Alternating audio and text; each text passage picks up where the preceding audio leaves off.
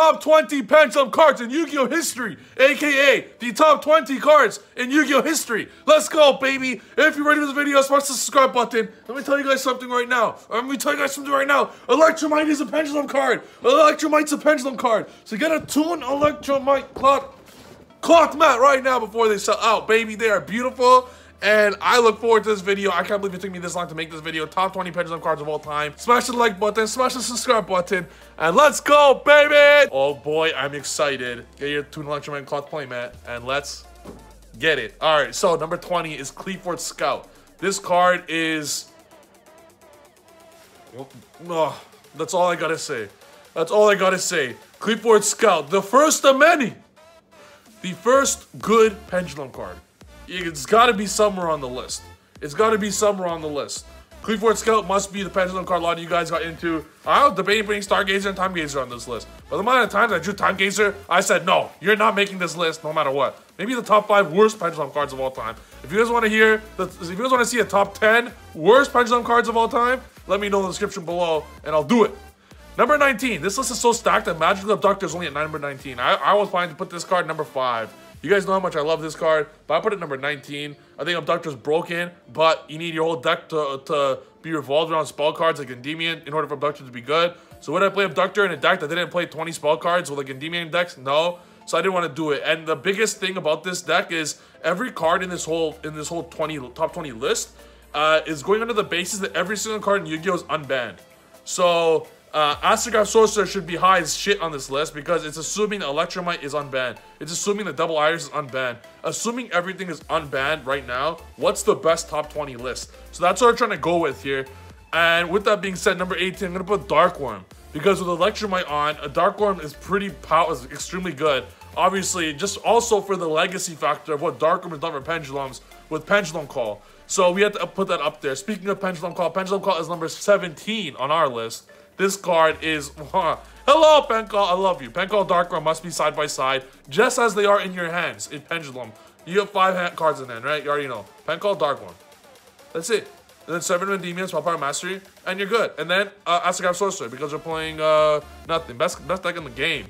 Uh, number 16 is Performapal Skullcrobat Joker.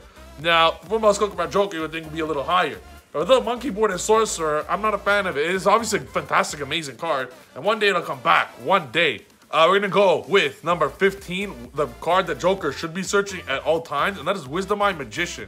Wisdom Eye Magician is my personal top three favorite Pendulum card of all time. I love this card so much. I am I have wisdom. So does this card. I love this card. It's one of my favorites of all time, and I refuse to not put Wisdom Eye Magician the card that started it all for Magicians, my second favorite archetype after Endymion, eh, this is the card that started it all. And speaking of Magicians, we're putting Harmonizing Magician number 14.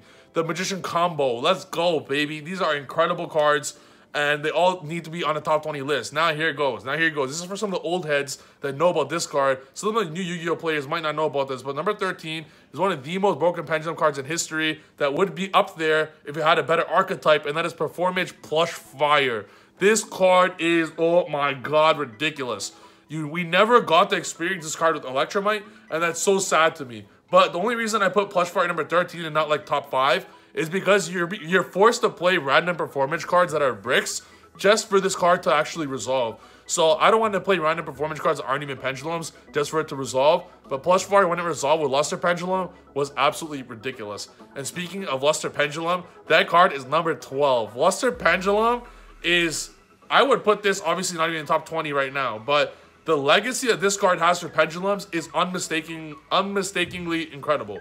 Uh, what Luster Pendulum did with Guiding Ariadne, what it did with Performage Plush Fire, even what it did with Pensork was remarkable back with Pepe. So, uh, uh, Luster Pendulum, welcome to the list, bro. Number 11, this card never got to see play with its best friend, Starving Venom, but Odd Eyes Revolution Dragon. This card is absolutely busted with Odd Revolution Dragon. Unfortunately for us, we never got to experience Odd Revolution Dragon and Starving Venom together on the same ban list, uh, uh, not banned. That would be a sight to behold. Konami, get it done. Unbanned, Starving Venom. Let's get it. Buy and right now, Revolution Dragon is this incredible card, but with Starving Venom, it's crazy. That's why I'm putting Revolution Dragon this high, where if it was had Starving Venom, it would uh, destroy the meta. That's what it would do. So, next we got number 10. Now, this 10, this top 10 is ridiculous. A lot of you would think I'll put this card way higher. This card's so broken, but the next cards above it are even more brokener. It's a word. Trip English. Number 10, Celine. I know. A lot of you would think Celine, I should put it way higher, but the next cards I'm going to say are so broken that there's actually Celine just can't make the uh, top nine. And Celine is so good. I love, I love you, Celine, so much. You're my baby. But the next nine, considering that all Yu-Gi-Oh cards in history are unbanned, what would have the most potential? What's the best pendulum cards of all time? I'm gonna put that number 10. Number nine is Performapal Monkey Board. Uh, what Performapal Monkey Board does, it literally says that you have triple Joker, triple Monkey Board. You have six one-card scales plus a card on field. What? Like you have six one? Like that's that, uh, that's crazy, bro. That's crazy. You have six cards that say full scale. Full scale, draw one. Monkey Board Lizards, Pen Summon, draw one. Like, it's insane. And the fact that Performapal Pendulum Sorcerer is also a Performapal that could search Monkey Board and Joker, you gotta put, in my opinion, one of the greatest Pendulum cards of all time, if not number one. I put Performapal Pendulum Sorcerer at number eight, just because I've uh, uh, my other reasonings is very legit for the other seven. But one Pendulum Source is number eight. I could even put this card number one. I love this card that much. This is my number one favorite card. Back when Wisdom Eye was at three, when Pensword just got released, this was my all-time favorite card. I'm gonna put it number eight though because the the what the next seven did was remarkable. At number seven, I'm gonna put some of you are, gonna be upset at this. I'm not putting it even higher, but Majespecter Kirin. Kirin is so broken. That's my baby. I should have named my cat Kirin because I love Kirin that much. But I'll just get a dog and call it Kieran. A dragon. A dragon. Because what Kirin is. Kieran is broken. Kieran auto wins games by itself. But, but, you can still get Nibiru, right? Like, Kieran, uh, even though it's broken, it doesn't, like, help the consistency of your deck. Which is why the next cards I'm about to say, they're really based on the consistency and about going second for your deck. That's extremely important. I cannot even begin to explain how important that is for Pendulum decks. You already know going first. All these cards I mentioned are for going first and they're so broken for you going first. But is it really like uh like does it help going second? Kieran, yes, it helps going second, but doesn't like help consistency. What if you just have like five scales and Kieran's one of them, just pen something, you do nothing? Don't get me wrong, Kieran's broken, which is why I made the top seven in a all-time list, the Hall of Fame. It made the Pendulum Hall of Fame at seven. So number six, this card, as I brought up Nibiru earlier, imagine pendulums and Yu-Gi-Oh! right now. Just think about it right now. Think of Pendulum right now in 2020 without Jackal King. Just think about it. Think of all the times where it protected you from Nibiru. Think of all the times where it protected you from going second to Resolve Servant, nice monster that doesn't do anything, protected you from Bailiffs, from Ashes. Jackal King and Servant of Endymion is the best combo in Yu-Gi-Oh! since Trif Gaming and Team Samurai X1. So, that's a pretty solid Hall of Fame combo right there. So you gotta put Jackal King at number six, if not higher, because without Jackal King right now, Nibiru would be a gigantic problem for pendulums. That's all I gotta say. Number five, this card, assuming Electrumite's unbanned, assuming Astrograph's unbanned, Double Iris Magician. Do you know the stuff that I did with pendulums before I even had Trif Gaming, before this even existed? With Electrumite legal, with triple Astrograph and triple double Iris. Do you have any idea the amount of shenanigans I did with triple Firewall, uh, Adderall pendulums? Who remembers Adderall pendulums? Double Iris Magician lasted like 10 days. But when it lasted, it was the most beautiful thing of gold with Electrumite. Beautiful. I loved it. It deserves top five. Number four is Astrograph Sorcerer.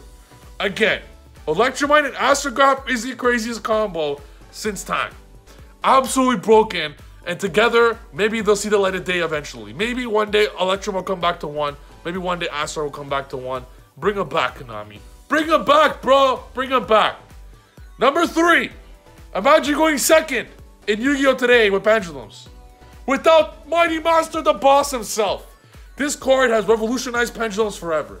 The fact that you can go second now and know that this card is somewhere in your deck. This card is somewhere in your deck. And you can blow up your opponent's entire board going second. You now given Pendulum something it's never had. You've now given Pendulums a go second bomb that destroys them. Everyone. It's, if not number three, it should be number one because of what it does for Pendulums going second. I put Mighty Master number three. Down to the last two. Who's gonna be first, second? Number two. Servant of Endymion! Let's go! Imagine Pendulum sitting without Servant. You know what Servant does? Servant stops from all hand stops you from all hand traps. It protects you from all hand traps. It could bring out it could protect you from trap trap cards. It could protect you from Nibiru. It could protect you from a non from a card that can't be destroyed and bring out reflection. What Servant of Endymion does in this deck, you cannot replace. Period.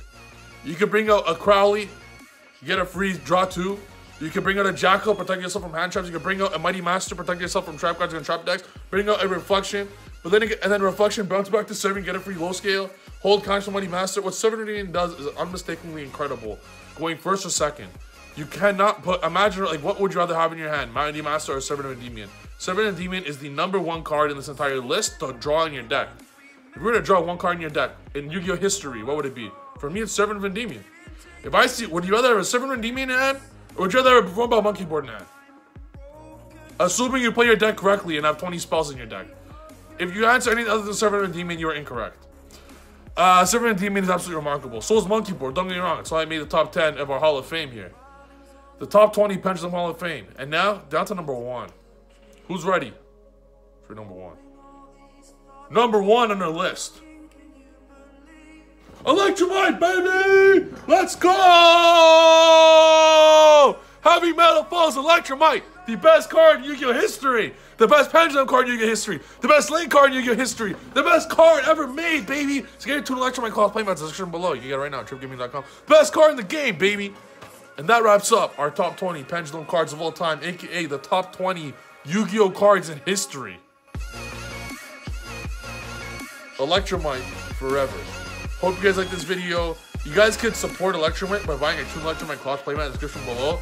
And by doing so, one purchase of Toon Electrumite cloth playmat shows Konami that they should bring Electrumite back to life. So, hope you like this video, and we'll see you guys in the next video. If you guys like this top 20 pendulum cards, if you guys like this discussion videos that we do, let me know in the comments below if you guys want to see the top 10 worst pendulum cards of all time. I'll help you do it. And I'll see you guys in the next video. Peace!